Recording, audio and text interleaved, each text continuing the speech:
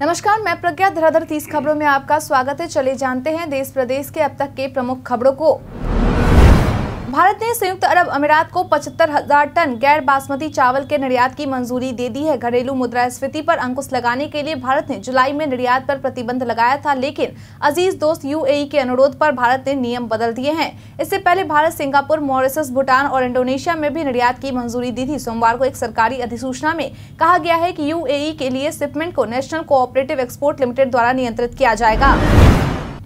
चाँद और सूर्य मिशन के बाद अब इसरो की नज़र शुक्र ग्रह पर है। इसे लेकर जल्द ही मिशन लॉन्च करेगा इसरो चीफ सोमनाथ एस ने कहा है कि इसरो की योजना सौर मंडल के बाहर के ग्रह पर भी मिशन लॉन्च करने की है, ताकि तारों की दुनिया के रहस्य भी उजागर हो सके। भारतीय अंतरिक्ष अनुसंधान संगठन ने ऐसे तारों के रहस्य सामने लाने की योजना बनाई है, जिन पर पर्यावरण होने की बात कही जाती है या जो सौर मंडल से बाहर स्थित है। इसरो प्रमुख एस सोमनाथ ने मंगलवार को इसकी जानकारी दी। भारत ने एशियन गेम्स में बुधवार को सुबह से ही पदकों की झड़ी लगा दी है। भारत के लिए दिन की शुरुआत महिला शूटिंग में मेडल से हुई। भारत के लिए दिन का पहला मेडल सिर्फ़ समरा आसी चौकसी और माननी कौशिक ने 50 मीटर राइफल तीन पोजीशन टीम इवेंट में जीता। इसके कुछ देर बाद मनु भाकर और सांगवान और ईशा सिंह ने गोल्ड पर निशाना लगाया। मनु सांगवान और ईशा की तिकड़ी ने महिलाओं की पच्चीस मीटर पिस्टल टीम इवेंट में गोल्ड मेडल जीता। भारत का एशियन गेम्स दो हज़ार तेईस में चौथा गोल्ड मेडल है।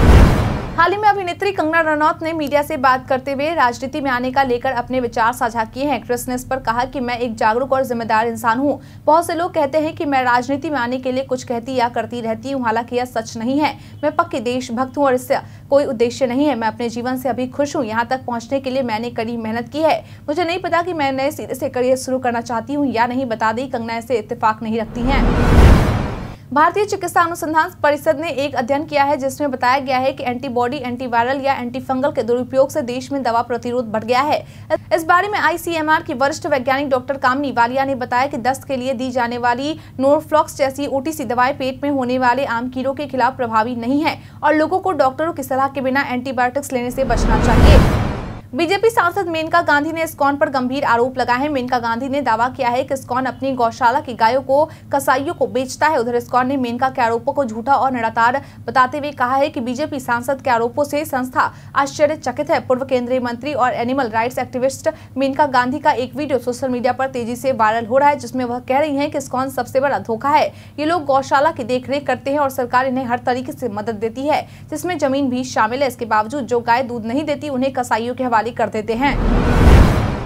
बिहार के पूर्व उप मुख्यमंत्री और भाजपा के वरिष्ठ नेता सुशील कुमार मोदी ने मंगलवार को साफ़ कहा कि अगर किसी विपरीत परिस्थिति में भी केंद्रीय नेतृत्व ने नीतीश कुमार को साथ लाने का फैसला लिया तो भाजपा कार्यकर्ता विद्रोह कर देंगे। उन्होंने यह भी बताया कि जिस दिन नीतीश एनडीए छोड़कर गए थे, उस दिन भाजपा ने कार्यकर्ताओं ने मिठाइयाँ बांटी थी, पटाखे छोड़े थे कि भाजपा पर से बोझ उतर गया। अब अपने बलबूते सरकार बनाएँगे। उन्होंने यह भी साफ़ कर दिया कि नीतीश कुमार कुछ भी प्रयास कर ले, उनके लिए भाजपा के दरवाजे बंद हो चुके हैं। सरकार के लिए सबसे बड़ी प्राथमिकता फेस्टिव सीज़न में महँगाई को कंट्रोल में रखने की है। इस मुहिम के तहत सरकार गैर बासमती चावल, प्याज समेत कई तरह के खाद्य पदार्थों के निर्यात को कंट्रोल करने से जुड़े फैसले ले चुकी है। सरकार नहीं चाहती है कि निर्यात के असर से यहाँ पर किसी भी खाद्य पदार्थ की कमी हो, जिससे उनके दाम देश में बढ़ जाए। इसी कड़ी में भारत सरकार ने एक महत्वपूर्ण फैसला लेते हुए अरहर और उड़द की स्टॉक सीमा को 30 अक्टूबर से बढ़ाकर 31 दिसंबर 2023 तक कर दिया है। यह फैसला ऐसे समय में लिया गया है जबकि कनाडा और भारत के बीच तनाव ज़ोर पकड़ रहा है, जहाँ से दालों का आयात ज़्यादा होता है। भाजपा के वरिष्ठ नेता, पूर्व मंत्री एवं विधान पार्षद शाहनवाज हुसैन मंगलवार की दोपहर मुंबई में अचानक कार्डियक अरेस्ट के शिकार हो गए। आनंद फानन में उनको स्थानीय लीलावती अस्पताल में भर्ती कराया गया, जहाँ एंजियोग्राफी कर उनकी स्टेंट लगाया गया। डॉक्टरों ने नब्बे फ़ीसदी ब्लॉकेज की बात कही है। हुसैन किसी सार्वजनिक कार्यक्रम के सिलसिले में मुंबई गए थे। कार्डियक अरेस्ट की सूचना मिलने के साथ ही उनका परिवार दिल्ली से मुंबई के लिए रवाना हो गया है। मंगलवार को रोज़गार मेले में केंद्रीय वित्त एवं कॉरपोरेट मामले की मंत्री निर्मला सीतारमन ने शिरकत की रोज़गार मेले का ज़िक्र करते हुए सीतारमन ने कहा कि अक्टूबर 2022 से इसका आयोजन हो रहा है। अब तक लगभग 10 लाख लोगों को नौकरी के प्रस्ताव मिले हैं। साथ ही उन्होंने कहा कि यदि किसी ऐसे उम्मीदवार को नौकरी की पेशकश दी जाती है जो बैंक में सेवारत होगा और सीधे संपर्क में होगा, उसे प्रतिदिन ग्राहकों के साथ स्थानीय भाषा सीखनी चाहिए। आज प्रधानमंत्री द्वारा देश भर में इक्यावन नियुक्ति आदेश दिए जा रहे हैं। खुद के लिए पुलिंग आधारित पहचान इस्तेमाल करने वाली 27 वर्षीय डिम्पल और 21 साल की मनीषा ने अपने परिजनों के आशीर्वाद से 18 सितंबर को भटिंडा में शादी की थी। ऐसे में कुछ धार्मिक नेताओं ने शादी की आलोचना की है। इनमें अकाल तख्त के जथेदार ज्ञानी रघुवीर सिंह भी शामिल। उन्होंने घोषणा की है कि समलैंगिक विवाह अप्राकृतिक है और सिख धर्म के सिद्धांतों के खिलाफ है। पवित्र गुरु ग्रंथ साहिब की मौजूदगी में दो महिलाओं की शादी करवाना नैतिक और धार्मिक मूल्यों का गंभीर उल्लंघन है। रिज़र्व बैंक ऑफ़ इंडिया की तरफ़ से समय समय पर बैंकों को लेकर कई फैसले लिए जाते हैं। आरबीआई ने मुंबई के the Kapol cooperative bank limited का लाइसेंस रद्द कर दिया है। जिन भी ग्राहकों का इस बैंक में अकाउंट होगा, उन लोगों को परेशानी हो सकती है। केंद्रीय बैंक ने कहा है कि बैंक के पास पर्याप्त पूंजी नहीं है और कमाई की संभावनाएँ भी नहीं है, जिसकी वजह से ही आरबीआई ने यह फैसला लिया है। हिंदुस्तान टाइम्स के अनुसार कोल्लम के एडिशनल एसपीआर प्रतापन नायर ने बताया है कि जवान साइन कुमार ने कड़क्कल थाने में शिकायत दर्ज कराई थी, जो जाँच के दौरान फर्जी पाई गई। उसके आधार पर उन्हें और उनके एक दोस्त को गिरफ़्तार किया गया है। खबरों के अनुसार एक वरिष्ठ पुलिस अधिकारी ने बताया कि कुमार इस तरह के झूठे बयान देने के कई कारण बता रहे हैं, जिन्हें वेरीफाई किया जाना बाकी है। गिरफ़्तार किए गए उनके दोस्त मुताबिक इस वारदात को इसलिए अंजाम दिया गया क्योंकि कुमार मशहूर होना चाहते थे। सुप्रीम कोर्ट ने मंगलवार को हाई कोर्ट के जजों की नियुक्ति और स्थानांतरण की सिफारिशें सरकार के साथ लंबित होने पर चिंता व्यक्त की और कहा कि वह इस मुद्दे की बारीकी से निगरानी करेगा और इसके समाधान तक कम से कम 10 से 12 दिनों में एक बार इसे उठाएगा। पीठ ने कहा कि सुप्रीम कोर्ट को कॉलेजियम द्वारा की गई सत्तर सिफारिशों वर्तमान में सरकार के पास लंबित है। इंडियन एक्सप्रेस के मुताबिक दो सदस्यीय पीठ की अध्यक्षता कर रहे जस्टिस एस के कौल ने कहा, कुछ मायनों में हमने इन चीज़ों को आगे बढ़ाने का प्रयास किया है। महात्मा गांधी राष्ट्रीय ग्रामीण रोज़गार गारंटी योजना के तहत 2022-23 में रोज़गार की मांग में थोड़ी गिरावट के बाद इसमें एक बार फिर वृद्धि हुई है और अगस्त 2023 में एक दशमलव सात तीन करोड़ से अधिक परिवारों ने इस योजना का लाभ उठाया है। इंडियन एक्सप्रेस ने मनरेगा पोर्टल पर उपलब्ध आंकड़ों के हवाले से बताया है कि इस साल अगस्त में इस योजना का लाभ उठाने वाले परिवारों की संख्या पिछले साल के इसी महीने में एक दशमलव तीन सात करोड़ की तुलना में पच्चीस दशमलव आठ पाँच फ़ीसदी अधिक रही। आठ सरकारी संस्थानों की एक रिपोर्ट में उत्तराखंड के डूबते शहर जोशी मठ की मिट्टी की क्षमता के बारे में कई टिप्पणियाँ की गई है। इसमें कहा गया है कि यह क्षेत्र उच्च तीव्रता वाले भूकंपों के प्रति संवेदनशील है। एनडीटीवी की रिपोर्ट के मुताबिक जोशी मठ का भूस्खलन या ज़मीन की सतह बैठने के खतरे की भयावता के आधार पर चार क्षेत्रों लाल, काला, पीला और हरा में विभाजित किया गया है। पंजाब के मुक्तसर ज़िले में पुलिस हिरासत में एक वकील के साथ कथित तौर पर बर्बर तरीके से मारपीट के मामले में सोमवार 25 सितंबर देर रात सदर श्री मुक्तसर साहिब पुलिस स्टेशन में छह पुलिसकर्मियों के खिलाफ एफआईआर दर्ज की गई। यह कदम पंजाब और हरियाणा हाईकोर्ट बार एसोसिएशन द्वारा पंजाब के मुख्यमंत्री को लिखे गए पत्र के बाद आया, जिसमें कथित तौर पर दोषी पुलिस अधिकारियों को बचाने और मामले में उनके खिलाफ एफआईआर दर्ज नहीं करने के लिए श्री मुक्तसर साहिब के एसएसपी को निलंबित करने की मांग की गई थी। Rating agency Moody's investor service ने भारत के आधार कार्यक्रम जैसी केंद्रीकृत पहचान प्रणालियों में सुरक्षा और गोपनीयता की कमजोरियों के बारे में चिंता व्यक्त करते हुए कहा है कि भारतीय विशिष्ट पहचान प्राधिकरण आधार का प्रबंधन करता है, जिसका लक्ष्य हाशिए पर रहने वाले समूहों को एकीकृत करना और कल्याणकारी लाभों को पहुँच का विस्तार करना है। इस प्रणाली के परिणाम स्वरूप अक्सर सेवा में बाधा उत्पन्न हो जाती है। विशेष तौर पर गर्म और आर्द्र जलवायु में मजदूरों के लिए बायोमेट्रिक तकनीकी की विश्वसनीयता पर सवाल उठने लगती है। भारत और बीच तनाव को लेकर विदेश मंत्री एस जयशंकर ने अपनी बात एकदम स्पष्ट कर दी। है उन्होंने यूएन की बैठक में शामिल होने के बाद पत्रकारों के सवालों का जवाब देते हुए कहा कि अगर कनाडा ने आरोप लगाने से पहले या बाद में भी निजर की हत्या को लेकर कोई सबूत या संबंधित जानकारी दी होती तो हम इस पर ज़रूर विचार करते। वही पत्रकारों ने जब उनसे फाइव आइज़ अलायंस की खुफिया रिपोर्ट के बारे में पूछा तो विदेश मंत्री ने कहा, आप गलत आदमी से सवाल कर रहे हैं। न तो मैं फाइव आइज़ अलायंस में हूँ और न ही एफबीआई का सदस्य हूँ। भारत कनाडा विवाद के बीच कांग्रेस सांसद अधीर रंजन चौधरी सरकार के समर्थन में आ गए हैं। उन्होंने प्रधानमंत्री नरेंद्र मोदी और तिरंगे के अपमान पर भी कनाडा सरकार को घेरा है। उन्होंने भारत विरोधी गतिविधियों पर लगाम लगाने की मांग की है। मंगलवार को ही कनाडा के कई शहरों में खालिस्तान समर्थक भारतीय मिशनों के बाहर प्रदर्शन करने जुटे थे। कुछ तस्वीरें सामने आई है की खालिस्तानियों ने पीएम मोदी की कटआउट को लेकर प्रदर्शन किया और तिरंगे का भी जमकर अपमान किया।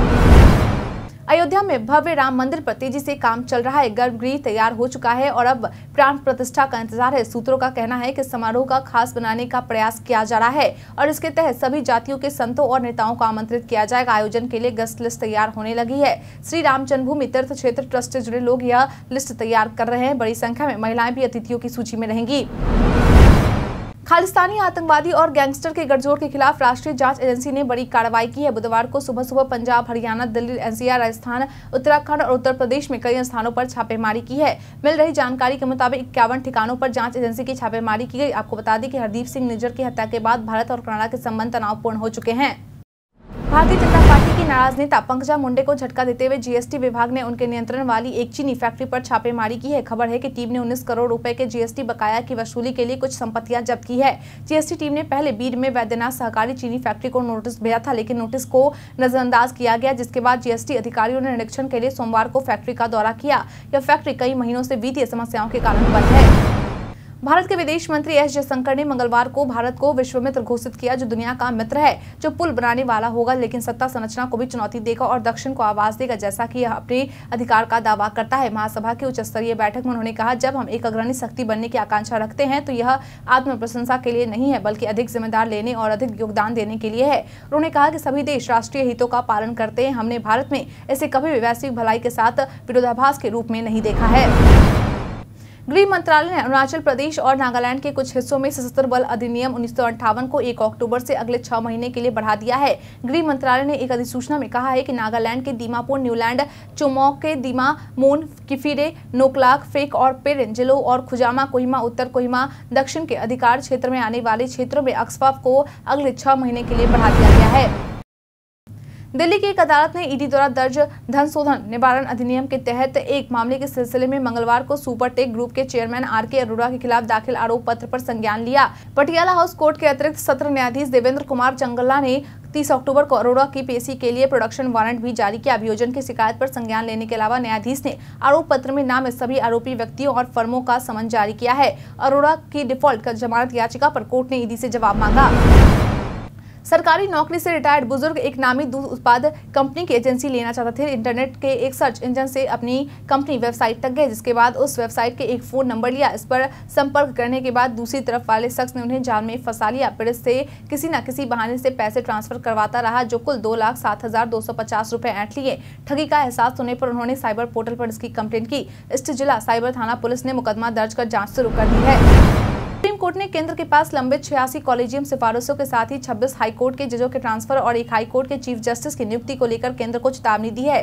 सिस आयत ने इन मामलों पर सरकार की तरफ़ से कार्रवाई करने के लिए मंगलवार को 9 अक्टूबर की समय सीमा तय की। सुप्रीम कोर्ट ने साफ़ साफ़ कहा है की कुछ नतीजों के साथ वापस आए या दिक्कत का सामना करने के लिए तैयार रहे। करीब एक हफ़्ता पहले बायजूस का इंडिया बिज़नेस संभालने वाले अर्जुन मोहन ने कंपनी की स्थिति को सुधारने का पूरा प्लान तैयार कर लिया है। कंपनी रिस्ट्रक्चर के दौरान से गुजर रही है, जिसमें पैंतालीस से ज़्यादा लोगों की नौकरी जा सकती है। जानकारी रखने वाले लोगों के अनुसार नए सीईओ की देखरेख में पूरा काम हो रहा है। इससे कंपनी पर से पैसों का बोझ कम होगा, साथ ही कैश फ्लो में भी इजाफा देखने को मिलेगा। मुख्यमंत्री नीतीश कुमार के करीबी नेता रहे पूर्व एमएलसी रणवीर नंदन ने जेडीयू छोड़ दी है रणवीर ने जेडीयू अध्यक्ष ललन सिंह को अपना इस्तीफा पत्र भेजा है। उन्होंने एक लाइन का इस्तीफा पत्र लिखकर जेडीयू के राष्ट्रीय अध्यक्ष ललन सिंह को भेजा। है इस्तीफे पत्र में रणवीर ने कारण पार्टी छोड़ने के कारण का उल्लेख नहीं किया है। बताया जा रहा है की जेडीयू में कोई बड़ा पद नहीं मिलने से वे नाराज़ चल रहे हैं। पिछले कुछ समय से वे पार्टी गतिविधियों से भी दूर थे। हमारे तरफ़ पूछे गए सवाल का आप लोगों में से बहुत लोगों ने जवाब हमें हमारे कमेंट सेक्शन बॉक्स में लिख कर दिया था, जिन्होंने हमारे तरफ़ पूछे गए सवाल का जवाब दिया है। उनके नाम है भान प्रकाश मौर्य, मोहम्मद फहीम, रोहित रंजीत, कुमार झा, अनवर करीम खान, मोहम्मद सकीर हुसैन, अभिषेक कुमार रॉय, धनंजय कुमार, आयुषी रानी, बाबूलाल मरांडी, रविशंकर, अर्जुन राम, नुनू गोलू कुमार, आलोक रंजन। अब बढ़ते हैं आज के सवाल की और आज का सवाल है, एशियन गेम्स 2023 में भारत के चार गोल्ड मेडल जीतने पर आप क्या कहना चाहेंगे? अपना जवाब हमें हमारे कमेंट सेक्शन में लिखकर ज़रूर बताएँ। आज के लिए इतना ही, धन्यवाद।